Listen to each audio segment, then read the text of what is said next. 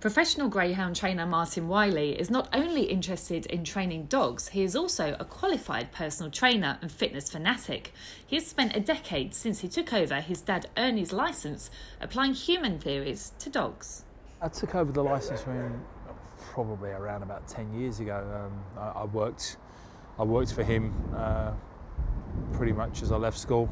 Um, and yeah, I was never gifted anything, so I was a kennel hand and then uh, head kennel hand and then an assistant trainer. And uh, when he eventually decided to retire, or as he would call it, semi-retire, and to be fair, he still has an active role. Um, uh, I took over the, uh, the contract in Romford and I've been there ever since. And outside of greyhound racing, which is very much your job, you're a massive fitness enthusiast, aren't you?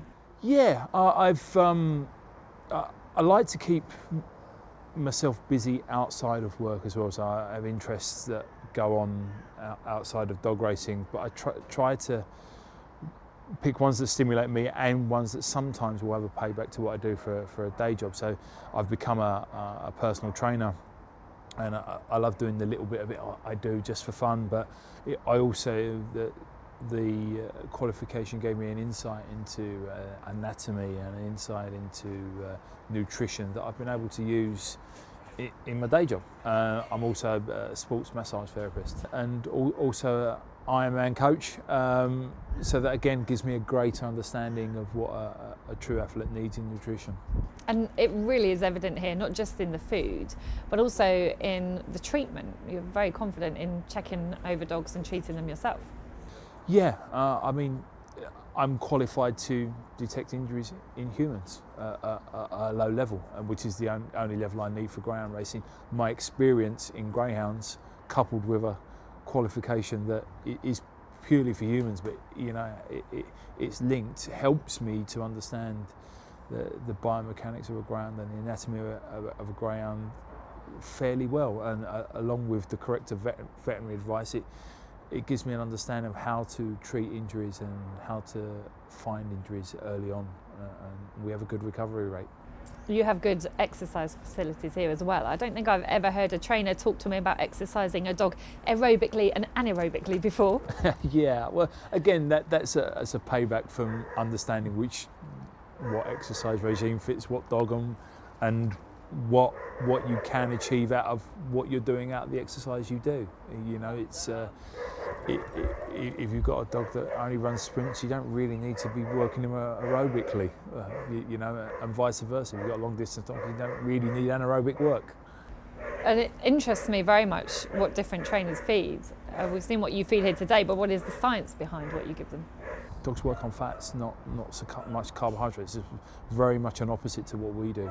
So you know, it's it's about tailoring their diets uh, for the mass of the dogs we've got and individually uh, for what their needs are. You, you, know, so some some dogs need uh, building up, some dogs don't. Some some dogs, you know, need support, and others don't. There's a lot of thought gone into the facilities here, and you make great use of both the whirly and the gallop, don't you? Yeah, and the swimming pool. You, you know, we we like to think that we've probably got a 10 month of the year training program. This year it's been longer. Um, and what I mean by that is when everything's frozen, there's I, don't think there's many ground trainers in the country that are able to actually exercise their dog apart from lead walking, and I'm no different. Where we would be different in autumn and spring, we have the whirligig and the gallop. You know, some trainers would have a gallop, some would have a whirligig. We're lucky enough to have both. Um, but in the summer months, we can swim them, and we can swim up to 20 or 30 a day um, because we have a swimming pool on site. So we don't have to move for it. The dogs love it. They, they feel refreshed for it, especially especially if you think about the summer that we've just had. Um, you know, most places were struggling to transport dogs and exercise them and bring them back, you know, sensibly. Um, and lots of trainers would have chose rightly not to do that. Whereas we didn't. We had a swimming pool on site, didn't have to go anywhere. The dogs cool off and refresh and dry out in the sun. And the whirly you've got is really useful for not just pups, but also greyhounds who might have lost a bit of interest. Yeah, well, we're having good re results with, with, the whirligig. We, we, we uh, built it to the end of uh, last year and you know, we're slowly experimenting and working it, and we're finding that it's very good for pups, and, and we're getting good results with pups running fluent bends, first or second look at a schooling track. But we're finding with the adult dogs that have lost a bit of interest, that, that are finding Romford just the, the same old thing yet again, and we we put them down, uh, drag out, and try and stimulate them in other ways. But we're finding that actually the whirligig, we get some really good results from using that about re re-energizing the dogs and refocusing them. They, they, they seem to respond well for it. There is also a real emphasis here on training staff, something that you're very hands-on with. Yeah, I, I consider my, my role is to uh, organise the kennels for the day, but then to spend time training the staff that I have. The, the better I make them, the better our operation is. You, you know, and also the, it's very simple just to teach a, a member of staff a small amount and then expect them to get on with it and be satisfied with that. But it, I, am one that I love to learn and I love to have interest in what I'm doing. And the more I can teach them, the more I can involve them, and the more idea they have of what the bigger picture of greyhound racing is, the more enthusiastic they are, and the more they want to come here and work for us.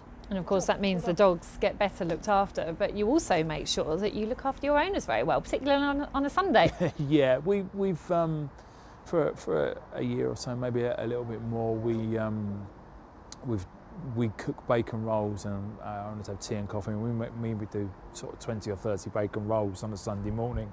It's a very social thing. Um, people can just stop and chat and uh, and talk about the dogs. They take the, the, you know they've taken their dogs for a walk and they can generally just talk about what's going on. Um, but it also has a byproduct is that we'll, we ask them we don't charge for bacon rolls, tea or coffee, but we ask them to make a small donation, whatever that they want to. Uh, there's no set amount, uh, and what we can raise money for retiring uh, our own dogs or other dogs, or just generally writing a check for, for some of the retirement agencies. What's really impressed me here today, and I visit a lot of kennels, is that I can walk down your kennel block and the dogs aren't even fussed about getting off their beds. They're very content and happy, well looked after greyhounds. Is that something that's important to you? It's important that they're content and well looked after. You know, I've, I've um, long maintained if we, we can't do a job properly, it's not worth doing it, and we shouldn't do it if we can't give it 100% and we can't get the results we want. And that doesn't mean in performance, that, that means in standards. I've long advocated that there should be a minimum requirement uh, for a kennel standard, and it's not just about the size of the kennel, it's about the quality of the care that they can provide. And I think that's important that it's regulated firmly.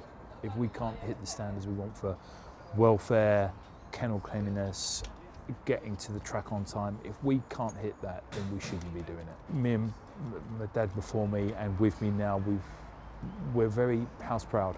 And as you've seen today, there's no point. Uh, uh, Part of a kennel that we don't want you to see. We're quite happy for you to wander mm. around on our own, and that's the same for our owners. I mean, when we get new clients come to us, they're very mm. surprised that they can just walk around the kennel supervised as they want to. There's not a bit we don't want to show people because we're proud of what we do.